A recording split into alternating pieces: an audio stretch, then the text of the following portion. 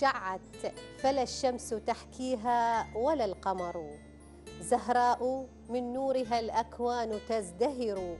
بنت الخلود لها الأجيال خاشعة. أم الزمان إليها تنتمي العصر. أسعد الله أيامكم وأيامنا مشاهدينا الكرام والسلام عليكم ورحمة الله تعالى وبركاته.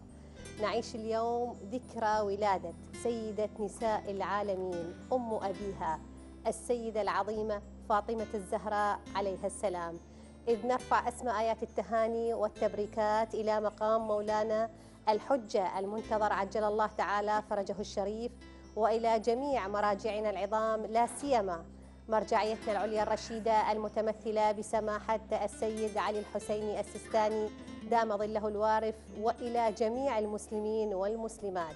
أهلا وسهلا بكم مشاهدينا الكرام في هذه الحلقة الخاصة. والمميزة ونحن ونحن نحيي ذكرى ولادة سيدة نساء العالمين فاطمة الزهراء عليها السلام. السلام عليكم ورحمة الله تعالى وبركاته. آلاء وأسعد الله أيامكم بهذه المناسبة الميمونة العطرة.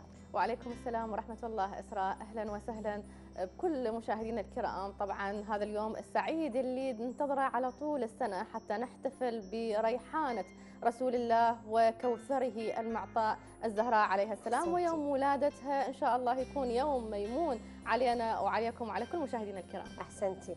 وأكيد اليوم معالم الفرح واضحة بالاستوديو آه، من خلال تزيين هذا الاستوديو الجميل. وهذا أقل شيء إحنا نقوم اتجاه آه، سيدتنا ومولاتنا فاطمة الزهراء عليه السلام. لكن عندما نتبادل الأفراح والمسرات هذا أكيد عندما نحيي اليوم ذكرى ولادة السيدة الزهراء أكيد هذا يكون في ميزان أعمالنا. ومرة أخرى أسعد الله أيامك أيامكم آلاء. سعيدة إن شاء الله. الله يبارك فيك.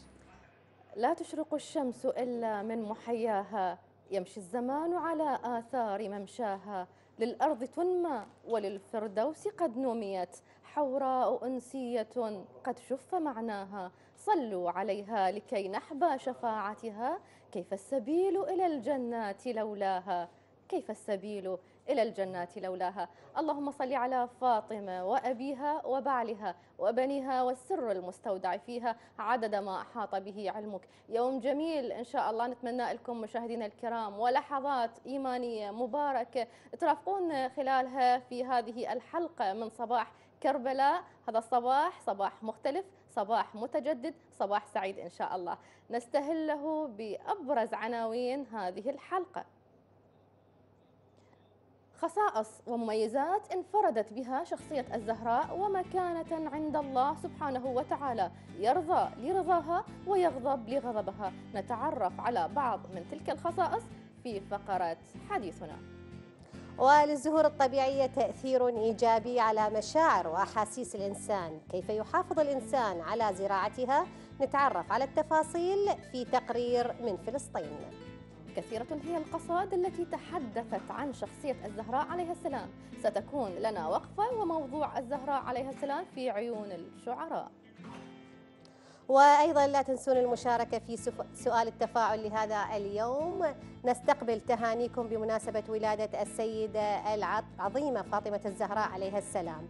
إن شاء الله نستقبل إجاباتكم مشاهدينا الكرام على الصفحة الرسمية لقناة كربلاء الفضائية. كل هذه الفقرات وأكثر تأتيكم ضمن حلقة هذا اليوم من صباح كربلاء. بداية دعونا نتوكل على رب العباد ونذهب بأسماعنا وأبصارنا إلى العتبة الحسينية المقدسة.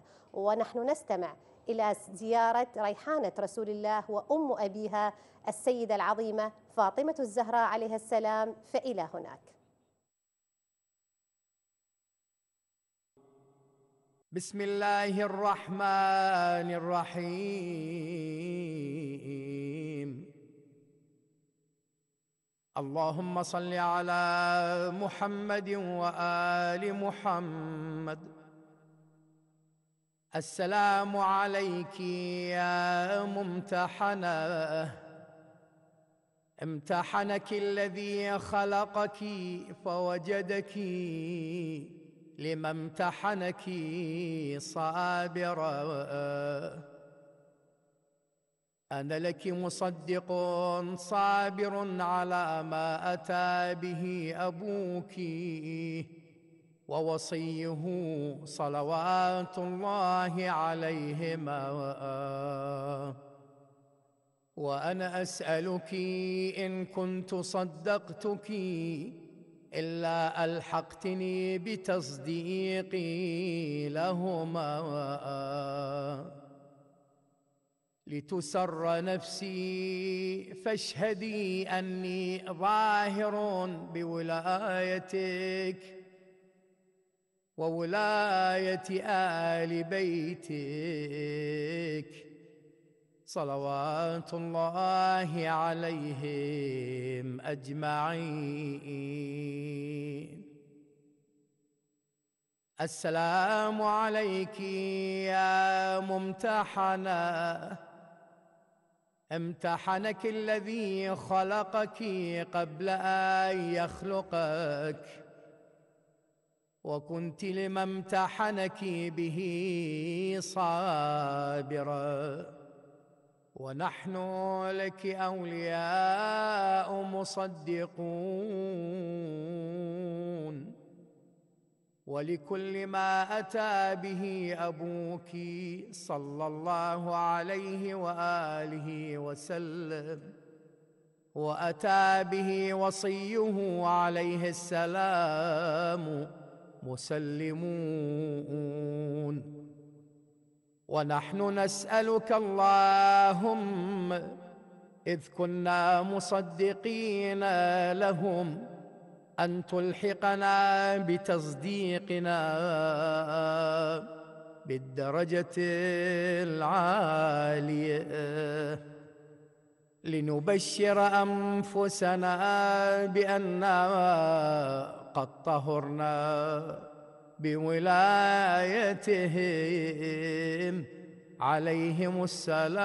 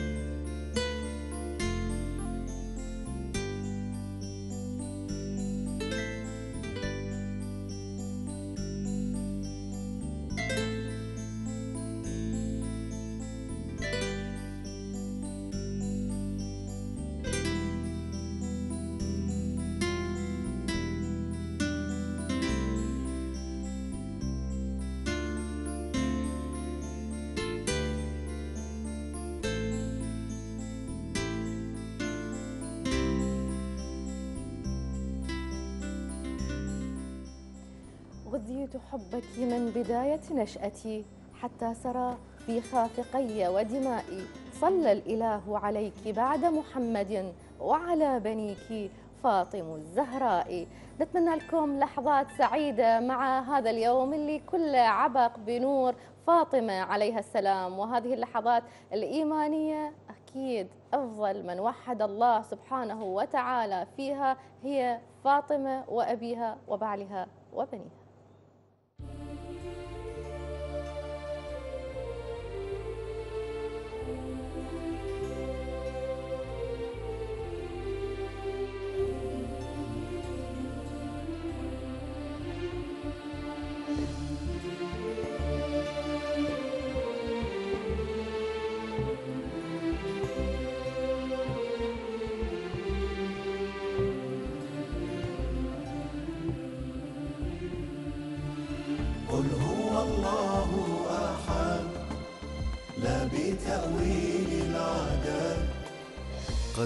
تجلى في علاه وحده فيها انفرد قل هو الله أحد. خالق الخلق قدير لم يلد قط ولد. لا ولم يولد لأم أو أب من صلب جاد. ما له في الكون كفء ربنا يدعى الصمد. هو في كل مكان وزمان دون حد ليس لله شريك لا ولا ضد واني قل هو الله أحد. ليس قبل الله شيء لا ولا بعد أحد. ليس مثل الله شيء جل عن وصف يعد. قل هو الله أحد. قل هو الله أحد. لا بتأويل العادات قد تجلى في علاه وحده فيها انفرد. قل هو الله أحد. إن كنه الله سر أزلي للأبد. سورة الإخلاص فيها خير وصف يعتمد. ما لنا وصف سواه غير ما عنه ورد. لو قرأناها ثلاثا جاء عن طه سند فكأن قد ختمنا الذكر والقلب سجد قل هو الله أحد. إن وعد الله حق وسنلقى ما وعد. قل هو الله أحد. لا بتأويل العادات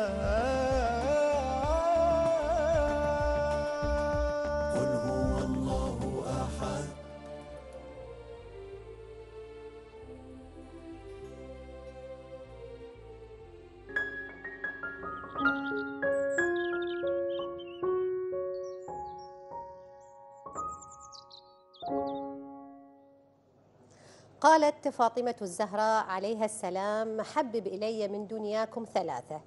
تلاوة كتاب الله.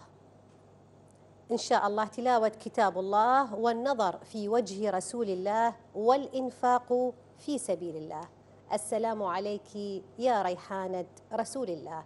نجدد التهاني والتبريكات لكم مشاهدينا الكرام ونحن نعيش هذا اليوم ذكرى ولادة الصديقة الطاهرة سيدة نساء العالمين فاطمة الزهراء عليها السلام. أكيد ما تحلى التهاني والتبريكات إلا من خلال التواصل فيما بيننا وبينكم. لذلك طرحنا ضمن سؤال التفاعل في حلقة هذا اليوم استقبال تهانيكم بمناسبة ذكرى ولادة الصديقة الطاهرة فاطمة الزهراء عليه السلام. قبل ما نقرأ التعليقات النيرة تعالوا نذهب مع زميلنا ماجد الأسدي وهو يستطلع هذه التهاني والتبريكات من خلال جولة سؤال التفاعل. فلنبدأ. تعرف على مقامات الزهراء عليها السلام إلى آه، عدم التنازل عن إحياء هذه المناسبات فهي جزء من هويتنا ولا يمكن لأي عاقل أن يتنازل عن هو- عن هويته.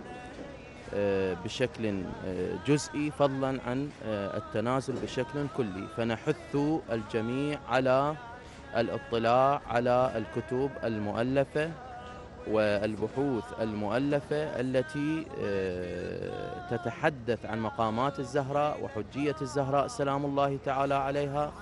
وحتى نستطيع أن نتجاوز حتى هذا الروتين والبحوث الكلاسيكية إن صح التعبير عن السطحية عن آه، حقائق المعصومين عليهم أفضل الصلاة والسلام سيما الزهراء عليها السلام التي هي حجة الله على المعصومين سلام الله تعالى عليها. هذا مقام الحجية.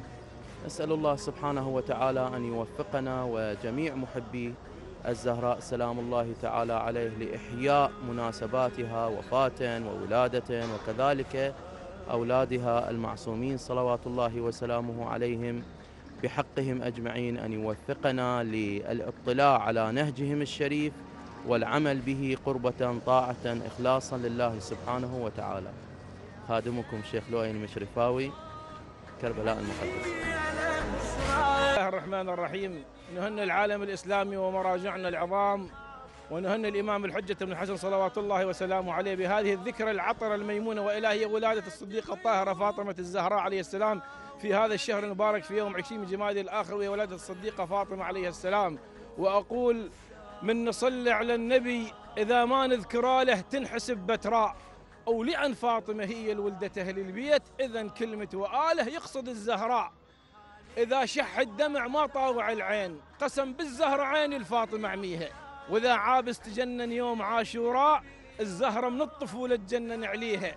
وقبل لا أبدي خلك وياي وخل ناخذ درس ونختمه من فضة. لو كانت تريد تقول زهراء قبل لفظ الاسم بالدمعة تتوضأ.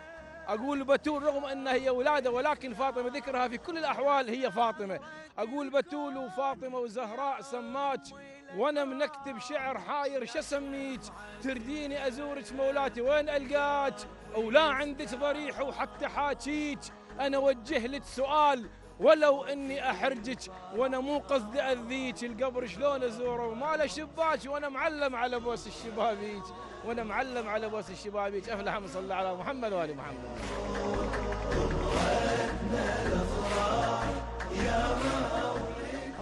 الأعمال الصلاة على محمد وآل محمد. نهنئ العالم الإسلامي والمراجع العظام والسيد السيستاني وقائم آل محمد بولادة الزهراء أم الحسن والحسين. وإن شاء الله ولادة ميمونة على الشعب العراقي وعلى الشيعة المؤمنين والمؤمنات على شيعة الإسلام والمسلمين وعلى كل المؤمنين. إن شاء الله ولادة خير. وفاتحة خير إن شاء الله على الشعب العراقي وعلى باقي المسلمين إن شاء الله. والسلام عليكم ورحمة الله وبركاته.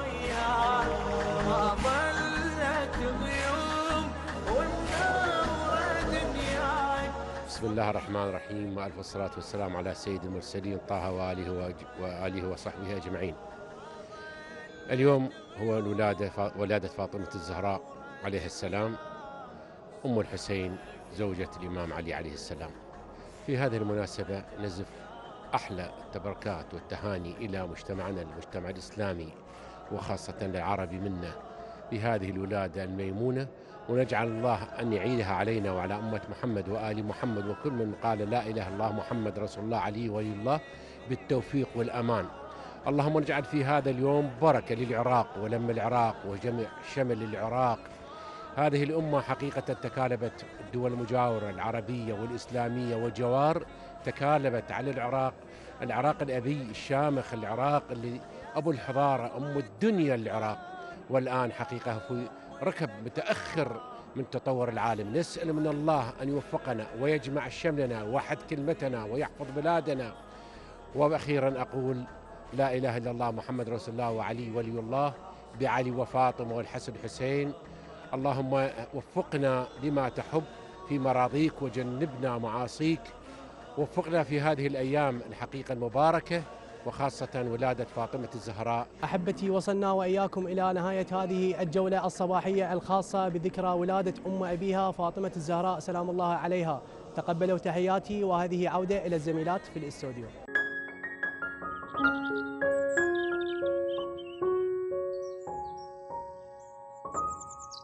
أهلا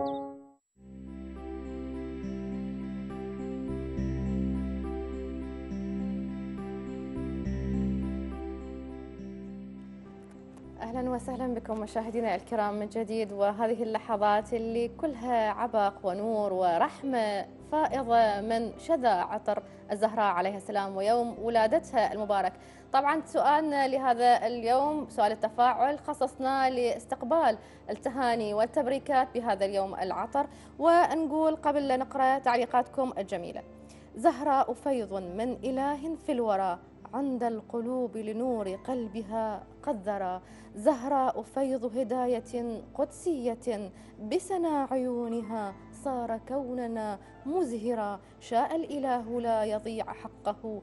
فغدت حروفها للحقيقة مظهرا. كانوا يعيدون النبي كأبتر وبذا استحالت في الفضائل كوثرا لولاها ما خلق الإله محمدا لا بل وإنه ليس يخلق حيدرا جميلة هذه الأبيات اللي وصلتنا من إحدى الشاعرات اللبنانيات وحبت تشارك معنا آه، الأجر في هذا اليوم ونقولها إن شاء الله كل عام وأنت بخير وكل عام وأنت خادمة للزهراء وأمير المؤمنين عليه السلام. احسنتي الله يبارك فيك. نعم آه، إسراء نعم. نقرأ التعليقات؟ نعم إن شاء الله. إذا مشاهدينا الكرام وردت كثير من التعليقات على الصفحة الرسمية لقناة كربلاء الفضائية وما شاء الله كل هذه التعليقات هي تهاني وتبريكات بمناسبة ولادة سيدة نساء العالمين فاطمة الزهراء عليها السلام.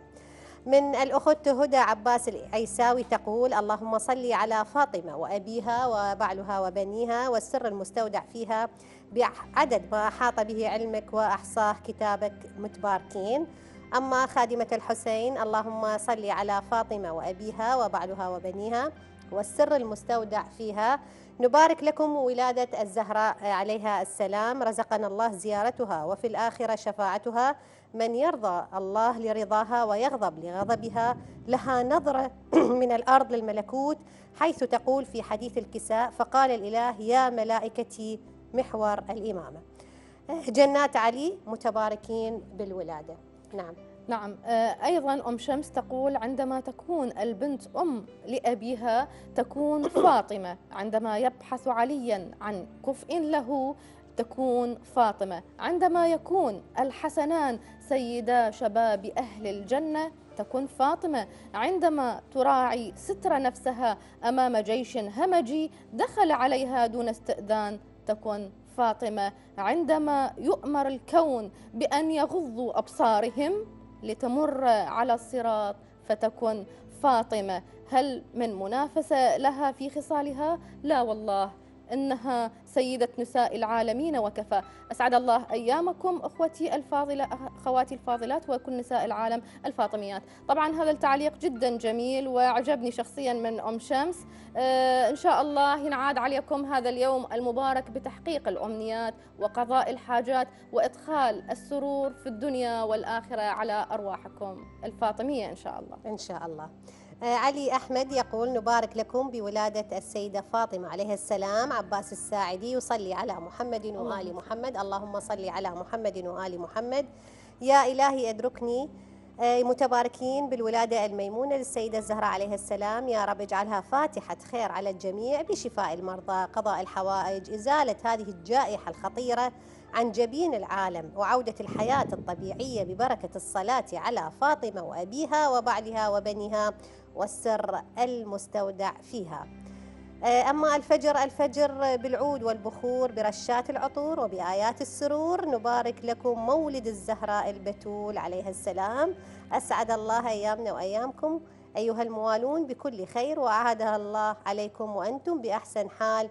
وتحت لواء صاحب العصر والزمان نبارك لكم الذكرى العطرة. أحسنتم. دائما متألقين ومنورين استوديو كربلاء.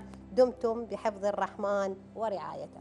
نعم أيضا تعليق جميل ورد من سعيد البياتي وكان هذا التعليق جدا رائع في مضمونه حيث يقول ولدت فاطمة فولد الخير كله.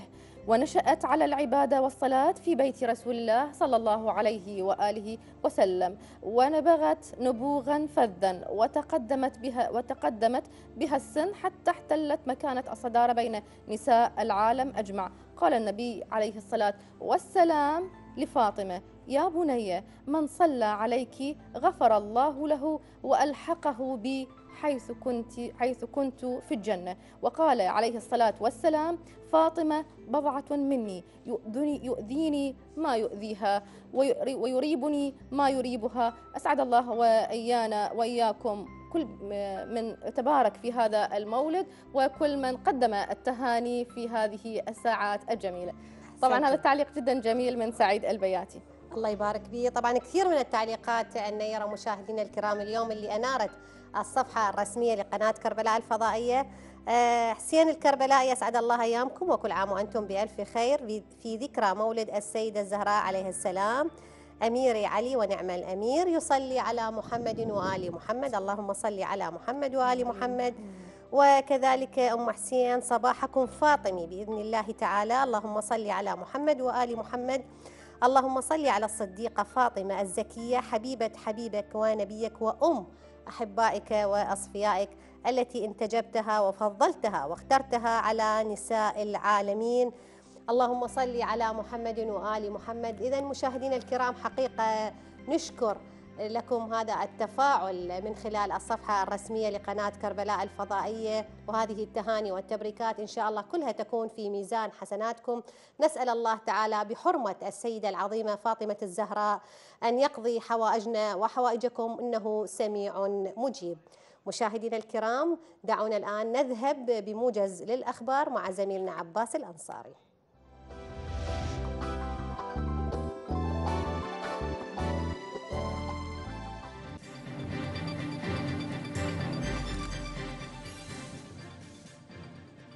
شكرا للزميلات في استديو صباح كربلاء أهلا بكم مشاهدينا في موجز الأخبار.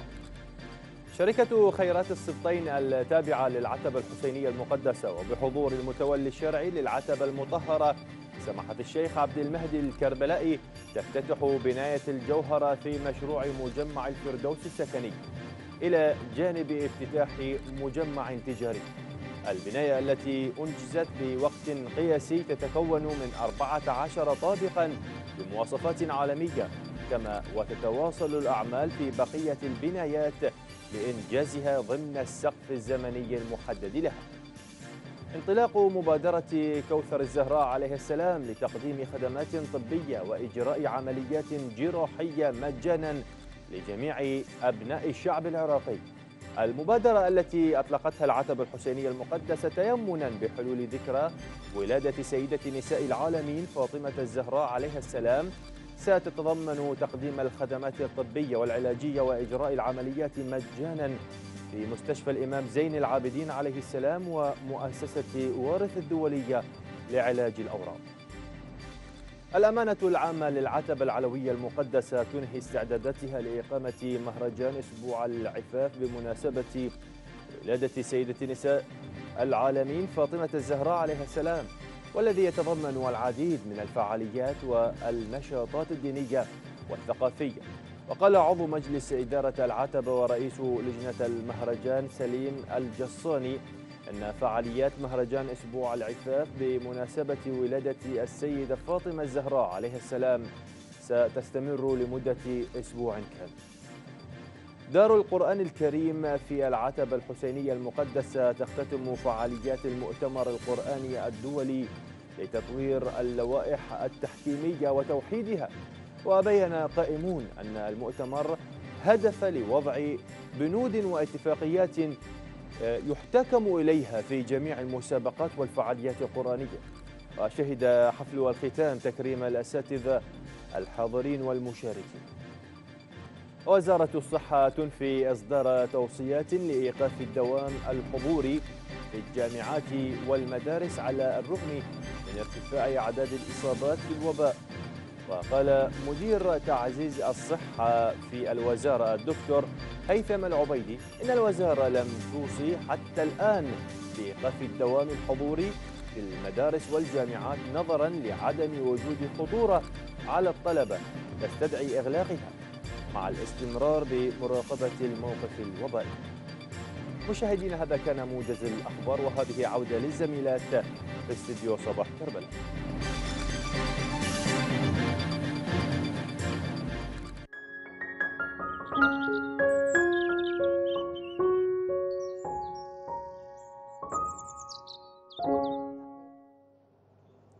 فتشيني خليني بالابتسامة.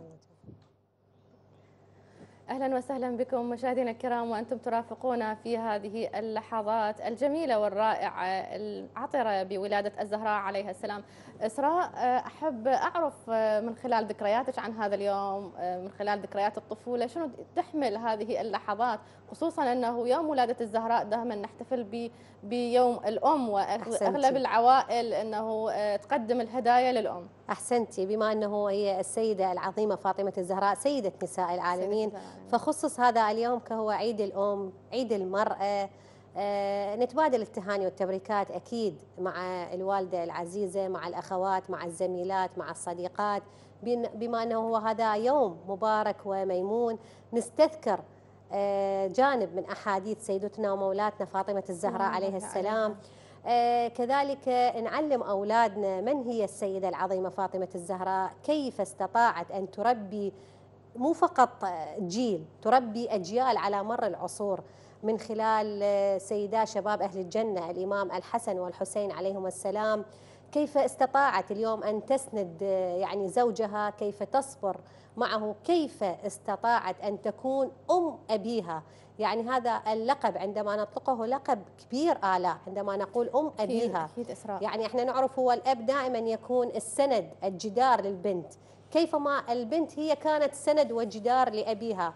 وفي عظمة وحضرة رسول الله صلى الله, صلى الله عليه, عليه وآله وآله وسلم. وسلم. أكيد الزهراء عطرها يملأ الدنيا والآخرة. الآن عندنا تقرير عن صناعة الزهور في فلسطين حيث تعد الزهور من أحد الأسباب التي تبعث البهجة والسرور في القلوب لأن الناس دائما آه، أكيد أنه يميلون لهذه الزهور وعطورها وألوانها المختلفة. نشوف ونلاحظ آه، المزارعين يهتمون بهذا الجانب خصوصا بالأنواع المميزة والأنواع اللي مرغوبة في آه، الشراء.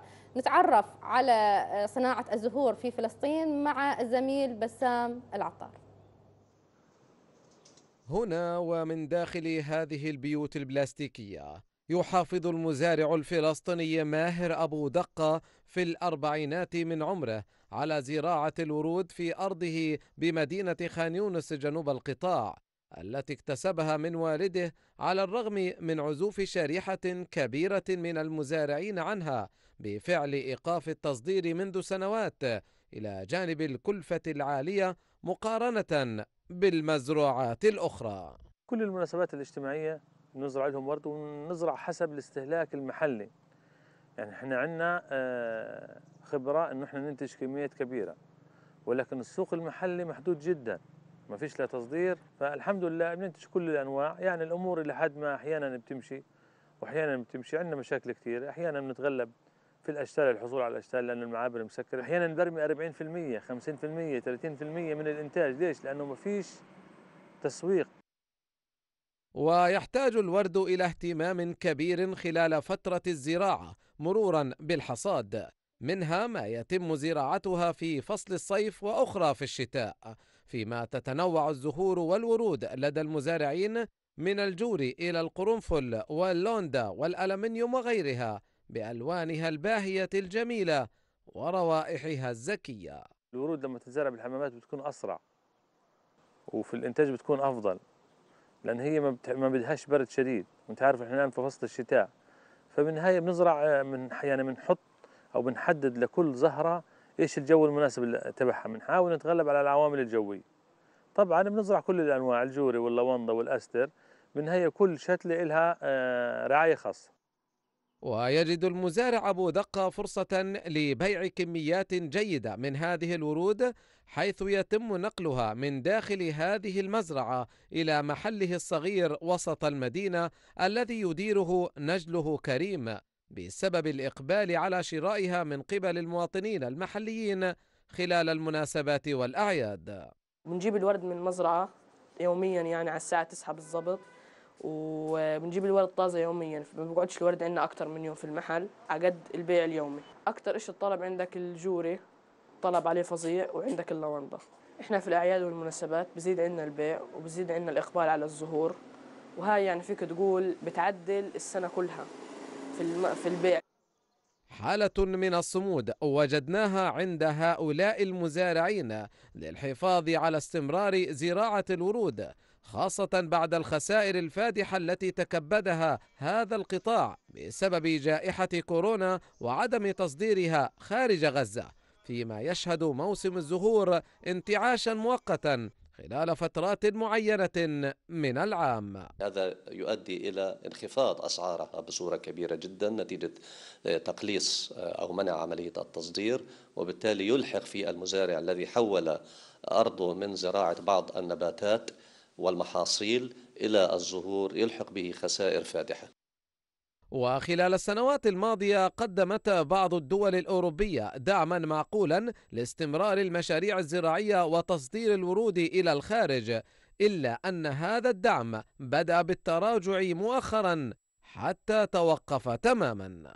ورد غزة عنوان معركة جديدة يكافح من أجله هؤلاء المزارعون حتى يستمر في البقاء وأن يحافظ على جماله ورونقه الذي يحبه الجميع. لبرنامج صباح كربلاء بسام العطار من مدينة خان يونس جنوب قطاع غزة.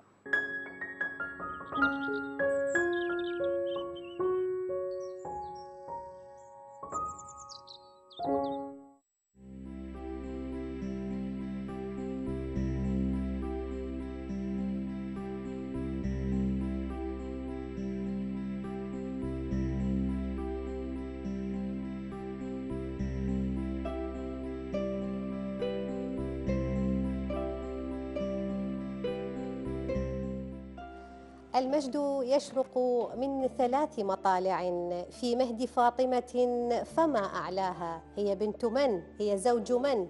هي أم من؟ من ذا يداني في الفخار أباها؟ صلوا على نور الهدى اللهم صل على محمد وآل محمد. نجدد التهاني والتبريكات لكم مشاهدينا الكرام ونحن نعيش هذا اليوم الخاص والمميز بذكرى ولادة سيدة نساء العالمين عليها السلام أكيد. واحدة من مظاهر الفرح هي الورود اللي تبعث في النفس الاطمئنان والراحة والبهجة. شاهدنا هذه المناظر الجميلة مع من فلسطين مع هذه الزهور الطبيعية. تعالوا إحنا وياكم نذهب بجولة قصيرة في سويسرا. نتدبر ونتفكر بديع صنع الخالق الباري عز وجل في فاصل قصير ثم لنا عوده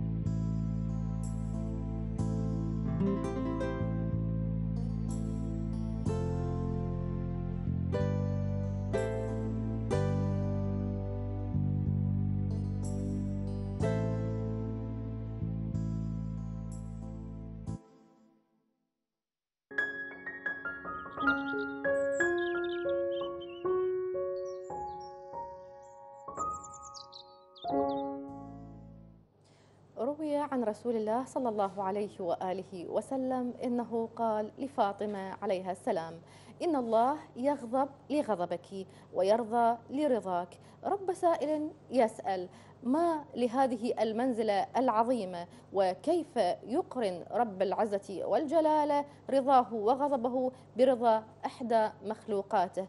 هل خصائص عظيمة وكبيرة اختصت بها هذه المخلوقة الجليلة فاجتباها الله سبحانه وتعالى لهذه المنزلة. بعض خصائص السيدة الزهراء سلام الله عليها نتعرف عليها في فقرة حديثنا وضيفتنا لهذا اليوم نورتنا بالاستوديو العلوية شروق الموسوي من دار القرآن في العتبة الحسينية المقدسة. حياكم الله وأسعد الله أيامكم بهذا اليوم المبارك. أسعد الله صباحك ست شروق ونورتينا. في استوديو صباح كربلاء وإن شاء الله متباركين بولادة السيدة العظيمة فاطمة الزهراء عليها السلام. ست شروق في البداية يعني في المقدمة كما نوهت زميلتي آلاء تطرقنا إنه كيف اليوم رب العزة والجلاله يقرن غضبه ورضا لإحدى مخلوقاته، ما هي المميزات والخصائص التي امتازت بها سيدة نساء العالمين فاطمة الزهراء عليها السلام؟ اللي جعلت من رب العزة عز وجل أن يرضى ويغضب لرضاها وغضبها. تفضلي الحديث لكم. نعم أحسنتم. بداية بسم الله الرحمن الرحيم والصلاة والسلام على خير الأنبياء والمرسلين محمد وآل بيته الطيبين الطاهرين. اللهم صل على محمد وآله نهنئ صاحب العصر والزمان ونهنئ العالم الإسلامي أجمع بولادة فاطمة الرسول وزوجي فحل الفحول بضعة الرسول وثمرة الجنة. أحسنتم. مكانة فاطمة الزهراء عليه السلام لا تخفى على الجميع فقد نوه الرسول صلى الله عليه وآله وسلم لها كثيرا. نعم. والأحاديث في ذلك كثيرة لا نستطيع أن نحصيها ولا نستطيع أن نحيط بها جميعا. صحيح. وهذه الأحاديث قد أكد عليها أكثر من خمسين رجلا من رجال الأحاديث والسنن. نعم. فمنها بأن الرسول كان يقول فاطمة بضعة مني. نعم. يؤذيني من آذاها. فهذا القول دلالة على أن فاطمة أن هنالك من سيؤذيها. نعم. وبذا جاء في بعض الروايات بأن على غرار هذا القول نزل قوله تعالى والذين يؤذون رسول الله لهم عذاب أليم. إذا الذين يؤذون الرسول جاء هذا في حديث الرسول صلى الله عليه وآله عندما قال بأن من آذاها فقد آذاني. إذا إن أذية رسول الله مقترنة بأذية فاطمة, فاطمة عليه السلام, عليه السلام. وقد كان يكنيها الرسول بأم أبيها. نعم. فالأم هنا دلالة على الأصالة. الأم أحسنتي. معنى الأصل. إذا ما هو دور فاطمة الزهراء عليه السلام في أصالة رسالة النبوة؟ نعم. دورها كان من خلال أولادها من خلال ذريتها. أكيد. أولادها المعصومين بفدائهم وتضحيتهم كانوا الكمال لرسالة الرسول صلى الله عليه وآله وسلم. ونجد بأن الرسول لا يفوت فرصة لبيان عظمتها ولبيان مكانتها عليه السلام. عليه السلام. ونرى بذلك بأن جاء في قوله تعالى ما آتاكم الرسول فخذوه, فخذوه. وما نهاكم عنه فانتهوا. إذا فإن كل قول وكل فعل ولو كان بسيط يجدر أو يصدر عن رسول الله فهو ليس اعتباطا وإنما. مقصودا وبه إشارة ودلالة معينة.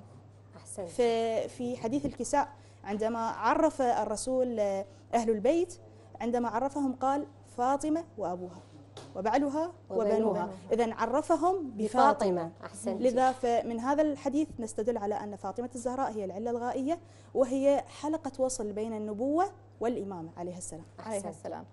طيب ست لو عرفنا وتطرقنا للحديث الكريم المبارك حيث يقول هذا الحديث أنه فاطمة عليها السلام دارت على معرفتها القرون. الأولى رغم هذه المكانة وهذه العصمة العظيمة لسيدة نساء العالمين إلا أن الرسول عليه الصلاة والسلام لم يغفل عن تربيتها فهكذا شخصية عظيمة مجتبات من قبل الله سبحانه وتعالى رب سائل يقول إنه ما محتاجه إلى تربية فالله قد رباها، ما هي الخطوات العملية في تربية وتنشئة فاطمة الزهراء عليها السلام على تربية محمدية أصيلة؟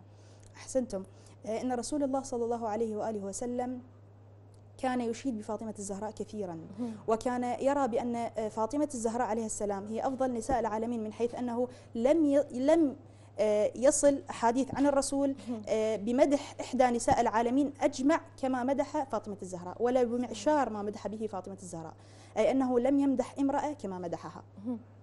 فبذا نجد في آه، يوم المباهلة عندما خرج الرسول لمباهلة النصارى نعم. فكان جعل فاطمة في الوسط وكان النبي يتقدمها نعم. والإمام علي خلفها والحسن والحسين عن يمينها وشمالها.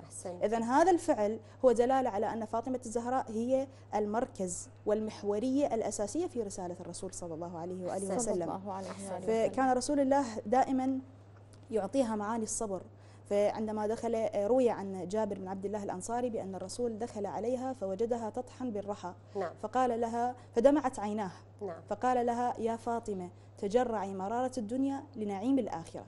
الله. إشارة إلى صبر فاطمة الزهراء عليه السلام. فحقيقة هذا النموذج ممكن أن يكون منهج أساسي للشابات وللفتيات وأفضل ما يمكن أن نقتدي به من فاطمة الزهراء عليه السلام بأن نجعل خطبة فاطمة الزهراء نموذجا. أحسنتي. وممكن أن تحفظ للصغار. مو فقط ف- اليوم يعني ست شروق يعني من خلال حديثك اللي تطرقتي إليه مو فقط اليوم يعني إحنا كسيدات يجب أن نقتدي بالسيدة العظيمة فاطمة الزهراء. رغم عظمة السيدة فاطمة الزهراء هذا الأمر آه لا لم يقلل من اهتمام رسول الله بتربية ابنته فاطمة أحسنتي. الزهراء. فهذه رسالة اليوم خلينا نوجهها إلى الآباء جميعا يجب أن يهتموا بتربية بناتهم لأن البنية راح تكون أساس المجتمع. كيف؟ راح تسأليني كيف؟ لأن راح تربي الأولاد وبالتالي الأولاد راح يصيرون هم أساس المجتمع. فيجب أن نختار اليوم البذرة الصالحة اللي إحنا مأمنين اليوم بأولادنا يمهم طيب ست شروق بعد ما أصبحت السيدة العظيمة فاطمة الزهراء عليه السلام أماً أكيد كان لها منهج خاص في تربية أولادها وهذا الشيء ما يخفي علينا في تربية ولداها. الإمام الحسن والحسين عليه السلام السيدة العظيمة زينب الكبرى عليه السلام. كيف إحنا اليوم نقتدي آه، بهؤلاء عليهم أفضل الصلاة والسلام؟ وأكيد كان لها منهج خاص وأغلبنا خصوصا إحنا اليوم السيدات اطلعنا على هذا المنهج.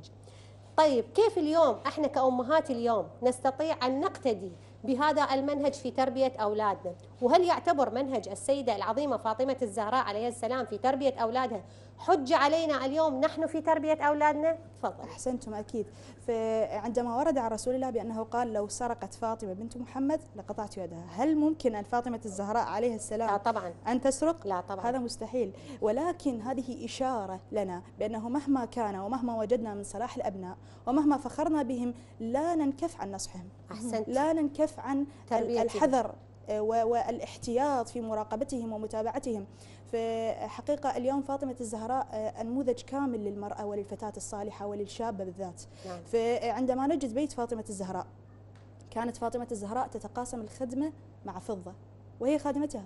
نعم. كانت آه، يوم لها رغم ويوم, عظمتها. ويوم لفضة في خدمة البيت. رغم عظمتها سيدة نساء العالمين. نعم. فلكنها آه، بالواجبات المنزلية كما فضة تقوم بالواجبات المنزلية. إذا هذا التواضع كمية التواضع مع مع ما لها من إجلال وإكبار وتعظيم من رسول الله. وقد وردت آه، أحاديث كثيرة وروايات كثيرة في إجلالها. فقد قال رسول الله إن هذه فاطمة من يعرفها فقد عرفها ومن لم يعرفها فلم يعرفني. فالرسول صلى الله عليه وآله وسلم لا ينفك عن تعظيمها وإجلالها بل إن سيد الكائنات كان يقبل يدها وكان يقول أمي يناديها بأم أبيها. فهذا دلالة يعني قبل ما يكون اللقاء مع حضرتك تحاورنا أنا وزميلتي آلاء.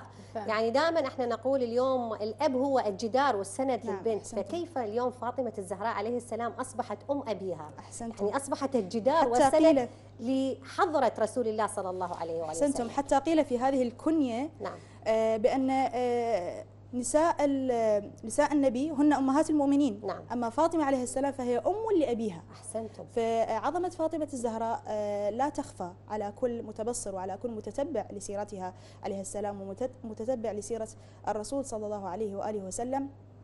فإن رسول الله كان يقول بأنها ثمرة فؤادي. روحي التي بين جنبي. روحي. إذا كلمة مجرد أنه يقول روحي إذا هنالك تلازم شديد بين شخص فاطمة الزهراء وشخص الرسول العظيم. آه، جاء في الروايات أنه لم يرى شخص على وجه الأرض أشبه برسول الله أكثر من فاطمة عليه السلام.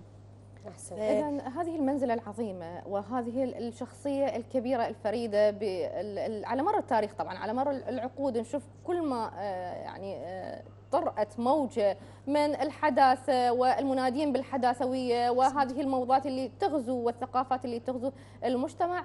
نلاحظ المجتمع يبقى آه، محافظ على آه، مودة فاطمة عليها السلام وحبها المتجذر في النفوس مهما آه، اشتدت علينا معارك الفتن. طيب آه، ما هي الخطوات العملية اللي آه، تجعلني أنا كفتاة بهذا بهذا العصر عصر الفتن كفتاة فاطمية زهرائية؟ نصيحتكم للفتيات. آه، حقيقة آه، فاطمة الزهراء عليه السلام تركت كم كبير من الأسوة الحسنة من خلال سيرة حياتها ومن خلال أحاديثها. فلا بد أن يكون هذا منهجا لا بد أن يدرس أحاديث فاطمة الزهراء. أحد أحاديثها أنها قالت حبب إلي من, من دنياكم ثلاث. الإنفاق في سبيل الله.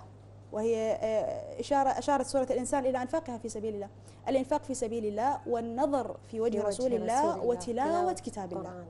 إذا إذا كتاب الله يعني تلاوة كتاب الله أفضل ما حبب إليها من هذه الحياة فرغم آه، عظم مسؤولياتها ورغم آه، يعني أنها كانت مجتهدة جدا في الأعمال المنزلية، اليوم إحنا وأكيد بعض إحنا اليوم بعض الشابات إحنا اليوم يعني في زمن لا نستطيع النظر إلى حضرة رسول الله إلى وجهه. الكريم لكن أكيد من خلال اليوم أن نقتدي بسيرة أحسنتم. رسول الله صلى إيه. الله عليه وآله وسلم فهذا الشيء راح يطمعنا إنه إحنا في الآخرة ننظر إلى حضره وجهه الكريم احسنتم نعم. فأشارت إلى تلاوة كتاب الله نعم. فاليوم لابد للشابه أن تتعلق أن يكون لها ورد من كتاب الله حتى وإن أحسنت. كانت مشغولة في دراسة أو في أو في. آه، مسؤوليات البيت وغيرها فايضا فاطمة الزهراء في مسؤوليات المنزل أشارت روايات كثيرة بأن يدها كانت قد كشطت من تنظيف المنزل فاليوم هذا مجرد هذا الموقف وهذه الرواية التي وصلت وأن رسول الله كان يبكي عليها من شدة تعبها في في واجبات المنزل إلى هذه المرحلة فكل قلنا بأن في البداية بأن كل عمل يصدر عن رسول الله هو إشارة لنا أكيد.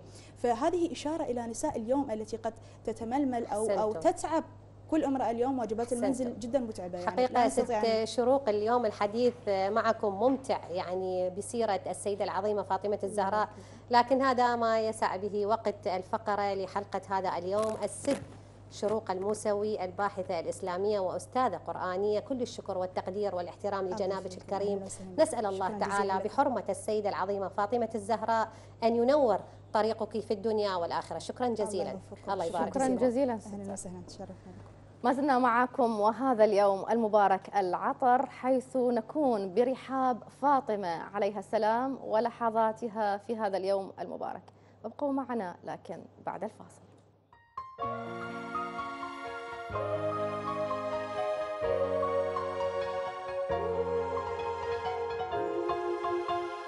وقفت يوما أصيح على سفوح الجبال.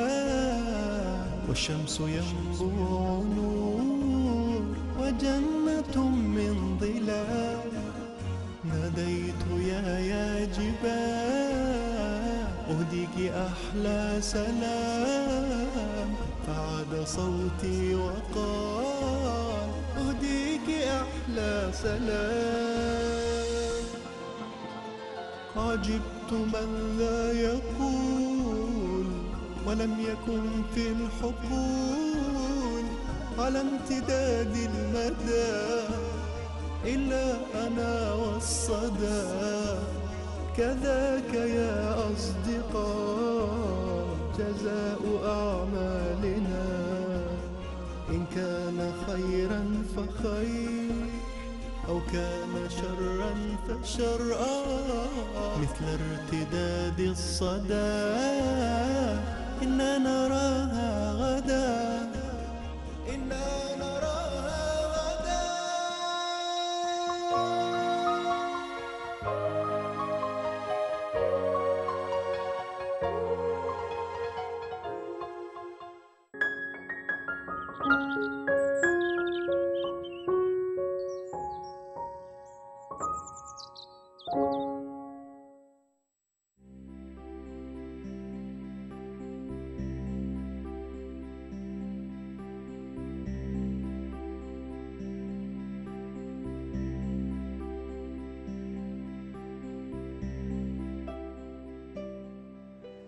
حياكم الله وبياكم مشاهدينا الكرام وأيضا نجدد التهاني والتبريكات بهذا اليوم العطر.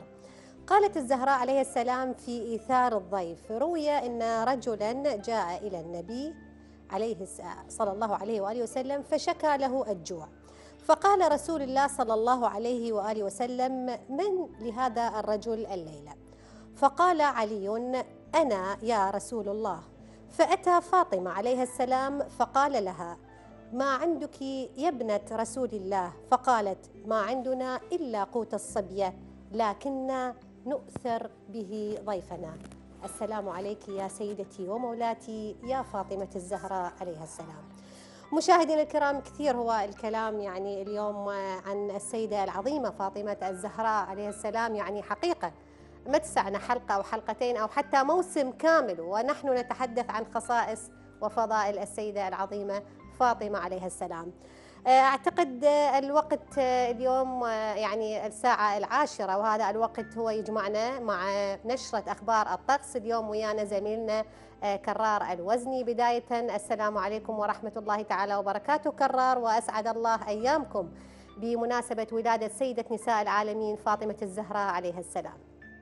أسعد الله صباحك زميلتي إسراء أسعد الله صباحك زميلتي آلاء مبارك لنا ولكم.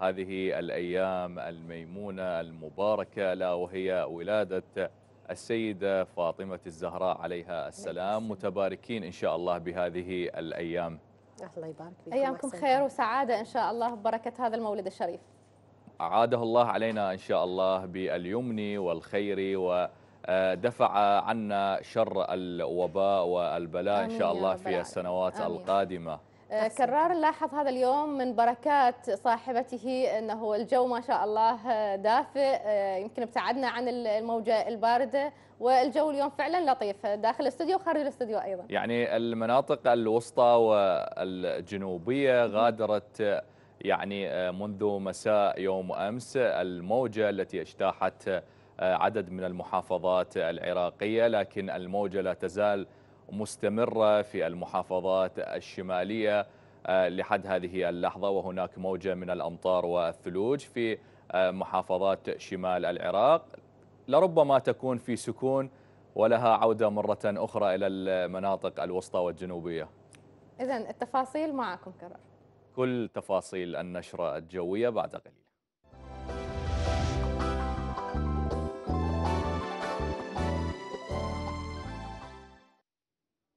أسعد الله صباحكم مشاهدينا الكرام أينما كنتم بكل خير في صباح جديد مع نشرة الأنواع الجوية والتي تأتيكم ضمن برنامج صباح كربلاء والبداية مع تصريح من قبل الهيئة العامة للأنواع الجوية والرصد الزلزالي في وزارة النقل العراقية عن حالة الطقس في البلاد ليوم الاثنين الموافق الرابع والعشرون من كانون الثاني للعام 2022 نبدأ من المنطقة الوسطى الطقس صحو وأحيانا غائم جزئي درجة الحرارة ترتفع قليلا.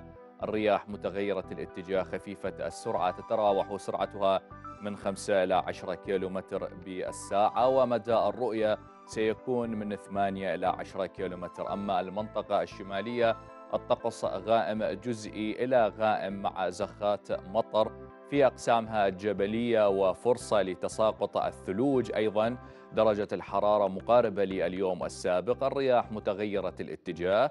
خفيفة السرعة تتراوح سرعتها من 5 إلى 10 كيلومتر في الساعة ومدى الرؤية سيكون من 6 إلى 8 كيلومتر. أما المنطقة الجنوبية الطقس صحو وأحيانا غائم جزئي. درجة الحرارة ترتفع قليلا. الرياح متغيرة الاتجاه.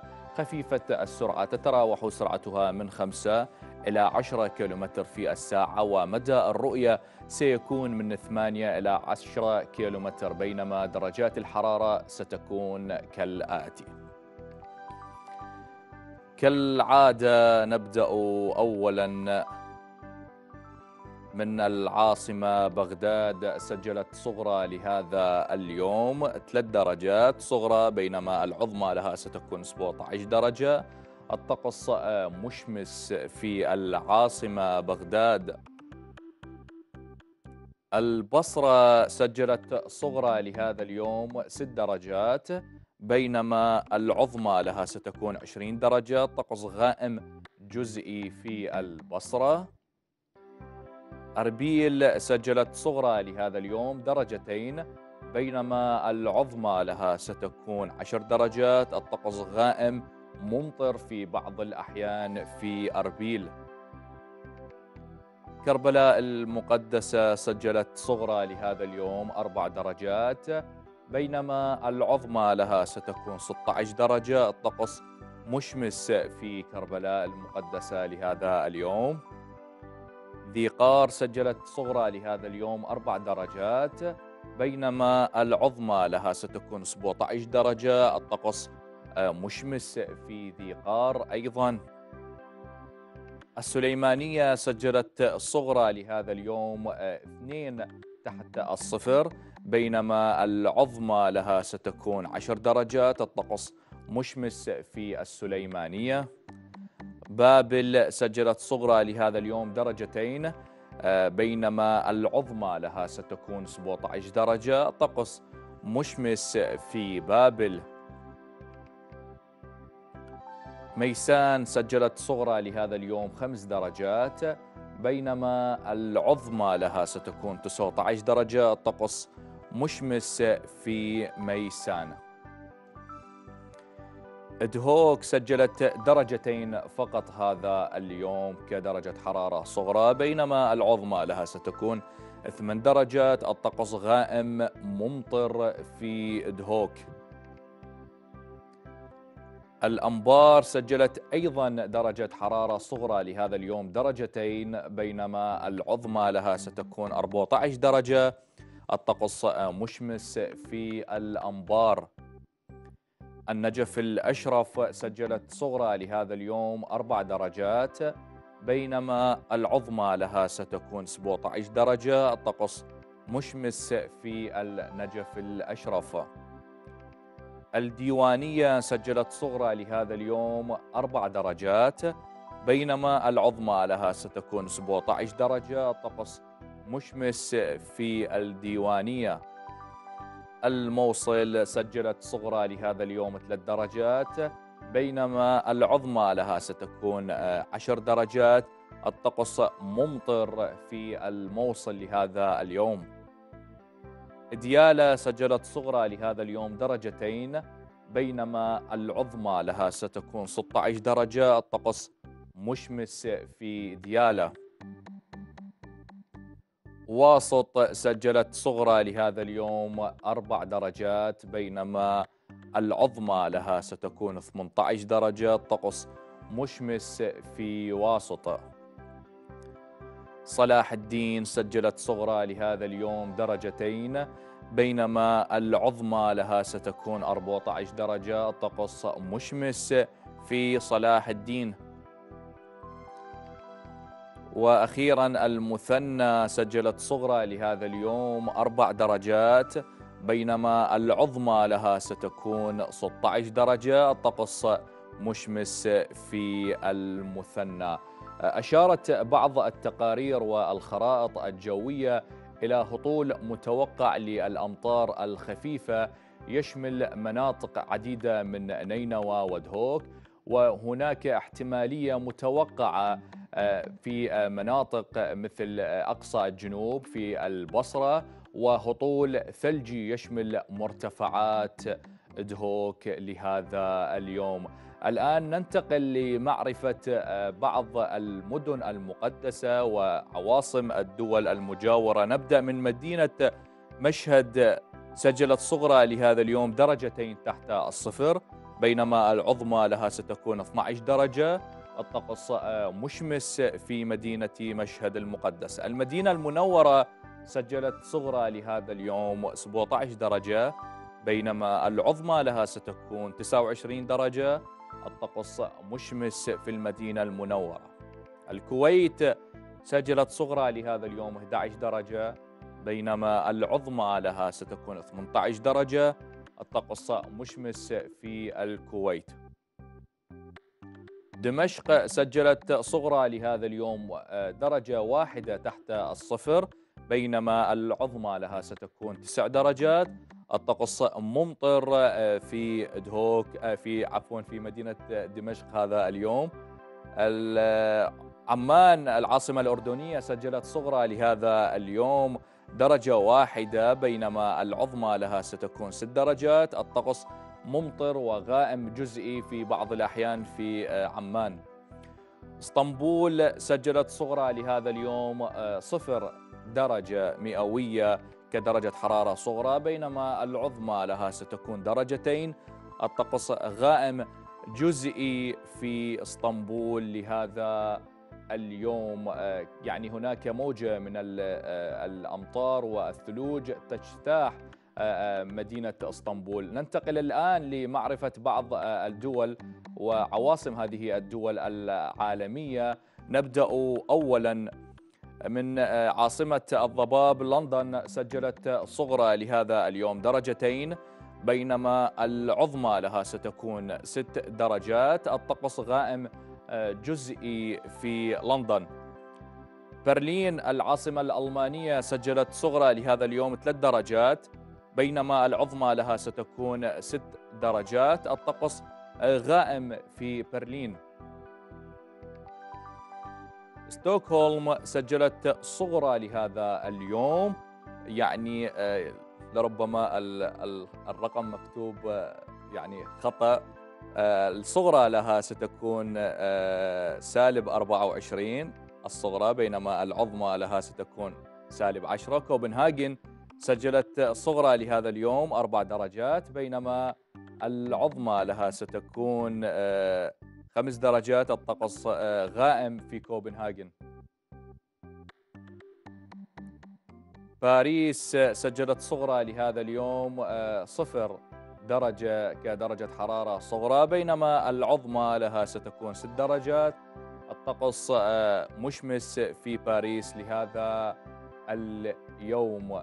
آه، مقطع آه، يعني آه، لربما آه، تم تداوله خلال هذا. خلال اليوم والأيام الماضية حديثنا عن ظاهرة الشفق القطبي وهي ظاهرة الأكثر جذبا للسياح في شمال أوروبا وبالتحديد في إيسلندا لمشاهدة هذه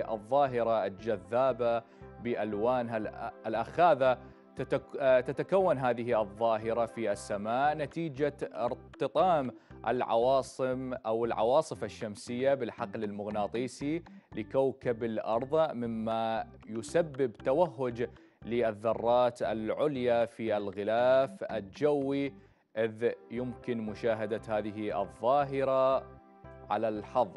لربما يكون جاهز بعد قليل المقطع الفيديو لنشاهده سوية.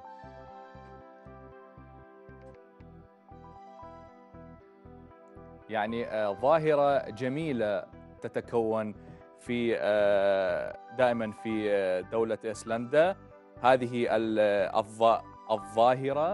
آه، ظاهرة الألوان الجميلة المتداخلة المت... المتداخلة آه، تكون أكثر جذبا للسياح خلال هذه الفترة من السنة. يعني لربما يعني تسجل هذه المدن التي تظهر بها هذه الظاهرة. حوادث سير للمركبات لانشغال آه، سائقي هذه المركبات بالألوان الأخاذة لهذه الظاهرة مما تسبب الحوادث المرورية. دفعنا أو دفع الله عنا شر هذه الحوادث. نختتم جولة النشرة الجوية لهذا اليوم بهذه الظاهرة وألوانها الأخاذة. ألتقيكم غدا. بعد العاشرة صباحا وهذه عودة مرة أخرى إلى إسراء وآلاء لإكمال ما تبقى من فقرات برنامج صباح كربلاء.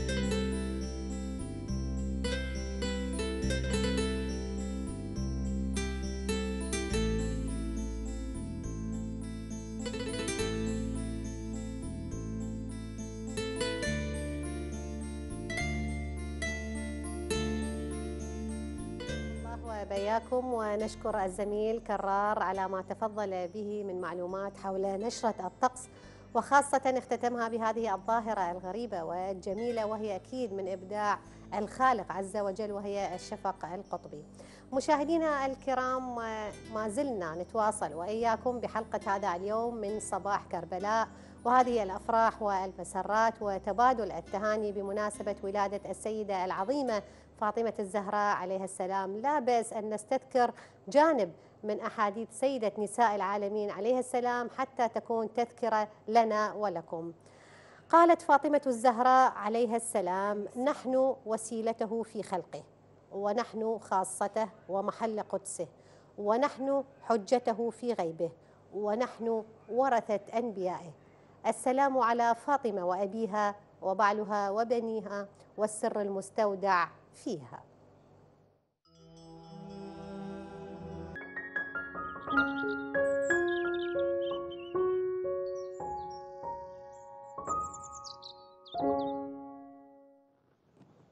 هذه اللحظات نرافق بها عطر الزهراء عليها السلام مع صباح كربلاء. صباح متجدد بأنفاسها. سلام الله عليها. كثير من الشعراء تناولوا جوانب مهمة من حياتها. العطرة سلام الله عليها أكيد في أشعارهم كانت هناك جوانب في أخلاقها وتعرضت إلى حياتها الشريفة.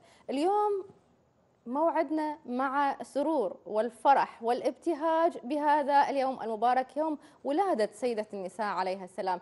للتعرف على ماذا اختصوا الشعراء بسرد فضائل الزهراء عليها السلام. نرافق معنا في هذه اللحظات الشاعر نوفل الحمداني ونرحب به ونقول له أسعد الله أيامكم ومتباركين بهذه الولادة الشريفة.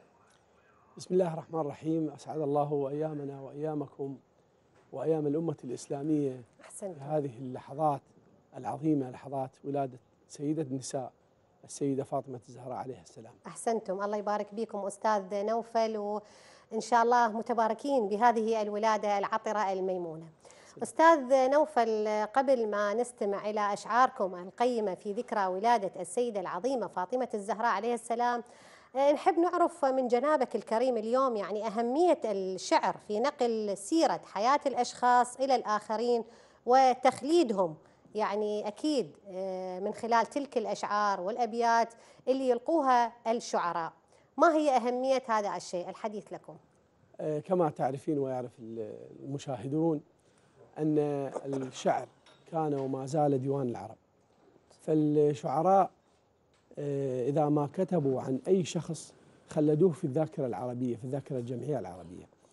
الملاحظ أن لدينا الكثير من الشعراء ممن كتبوا عن تراث أهل البيت عليهم السلام عن هذا النور الإلهي الذي تجسد بأئمة أهل البيت عليهم السلام بسيرتهم العطرة.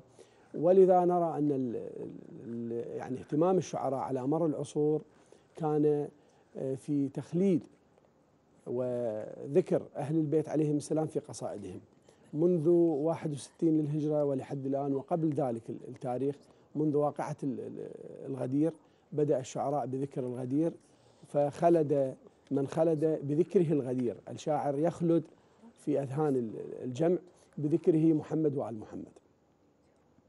فأنا أرى أن الشاعر يتشرف بالكتابة عن سيرة الأئمة العطرة وهذه السيرة العطرة هي من تكسب للشاعر الخلود. هذا رأيي. نعم. أحسنتم كثيرا. هذا الرأي السديد لحضرتكم أستاذ نوفل. أكيد ورد من تراكم الخبرات في هذا المجال وأيضا إخلاصكم وولائكم لشخصياتنا العظيمة اللي امتازت بها صفحات التاريخ الإسلامية. أستاذ نوفل ماذا تتغنى بهذه اللحظات أشعاركم بسيدة نساء العالمين؟ القصائد كثيرة لسيدة نساء العالمين لكن أنا اخترت قصيدة كتبتها يعني في هذين اليومين الفائتين. نعم. أقول فيها لتفاحة من جنان الإله قد صاغها الله صنع اليد وصورها قبسا من حياة أضاءت بعالم ليل الندي وأومأ كوني فكانت من الطهر مجبولة في يد الأحمدي وكانت تضيء لأهل السماء كما الشمس للعالم الأسعد. لأم أبيها وماذا أقول؟ لأم الرسالة للمقصد وللنور أشرق ملء الحياة بحجر خديجة بالموعد. وللكوثر العذب حين أماط أجاجا عن العالم المجهد لكفء علي وما كان يوجد كفء لها أو له سيدي لأم الزكي وريحانة الرسول العظيم وما يفتدي لأم الحسين. وهل ثم, وهل ثم قول لمعنى من الوجع الموقد؟ لأم العقيلة كانت تجر الوجود عباءتها باليد وتمضي إلى السبي تذوي العروش فداء لخطوتها الأبعد. فيا كوثر الله. خير البنين. إذا قيس والفخر للمحتدي. لميلادك الفخر. لميلادك الفخر فهو انتصار. لمعنى فضيلتك السرمدي. لميلاد كل العفاف الذي أتاك به الله كي تشهدي. لميلاد كل العفاف الذي أتاك, أتاك به الله كي تشهدي. لمعنى الحياء إذا تقبلين. ومعنى المروءات في مولدي. رجوناك عطفا على شيعة لحبك ذاقوا أذى المعتدي. بكل زمان تدور البغاة وتقسو ويشبه أمس غدي. عراق حسينك فاستشفعي. لدى الله غوثا له واشهدي. عراق حسينك فاستشفعي. لدى الله غوثا له أحسنتم. طيب الله أنفاسكم الشاعر الأستاذ نوفل الحمداني. بارك الله بكم وإن شاء الله. كل هذا يكون في ميزان أعمالكم ونسأل الله تعالى بحرمة السيدة الزهراء أن يوفقكم الله تعالى في الدنيا والآخرة. شكرا جزيلا أستاذ شكرا نوفل. جزيلا شكرا جزيلا الله يبارك فيكم. الله يحفظك. الله يبارك شكرا. جزيلا أستاذ نوفل. نعم. طبعا مشاهدينا الكرام هذه اللحظات اللي مرت علينا سريعة بحلقة جميلة ورائعة تنسمها تنسمنا من خلالها عطر فاطمة الزهراء عليها السلام. هذا اليوم المميز بحياتنا ننتظره طول السنة حتى نحظى بهذه النفحات الكريمة من سيدتي نساء العالمين. آه، إسراء كثيرة من الختمات والأدعية دائما ترافق أصحاب الحوائج اللي يطلبون حوائجهم من السيدة الزهراء عليها السلام. أذكر آه، في أحد الأيام كانت امرأة كبيرة السن عند ضريح المولى سيد الشهداء أبي نعم. عبد الله عليه السلام توزع في هذا اليوم من كل عام تفاحة لكل زائر. فكانت هي هذه بها قضاء الحوائج وتطلب الشفاعة من السيدة الزهراء عليها السلام كونها تفاحة الجنة. فكثير من المراسيم الجميلة اللي ترافق هذا اليوم وأيضا ترافق الموالين والمحبين لفاطمة عليها. السلام. نسأل الله تعالى أن تكون السيدة العظيمة فاطمة الزهراء شفيعتنا في الدنيا والآخرة. ويجب اليوم إحنا عندما نحيي هذه الذكرى ذكرى ولادة العطرة لسيدة نساء العالمين لا فقط نحييها بمراسم الاحتفال والابتهاج لكن اليوم يجب أن نقتدي بها قولا وفعلا. فعلا. أحسنتم. الله أحسنتم يبارك كثيرا أسراء. إن شاء الله يعود عليكم هذا اليوم باليوم والخير والبركة وقضاء الحوائج مرة إن شاء أخرى الله. أسعد الله أيامكم. دأب الموالين للهادي وعترته. إحياء أمرهم حزنا وأفراحا. في الأمن والخوف لا تخلو مجالسهم من ذكر آل الهدى جهرا وإفصاحا وينثرون عليهم كلما ذكروا ورد الصلاة بعطر الحب فواحا. نلتقيكم على مشيئة الله وبركته يوم غد بصباح متجدد. الآن نودعكم وفي أمان الله وعين رعايته.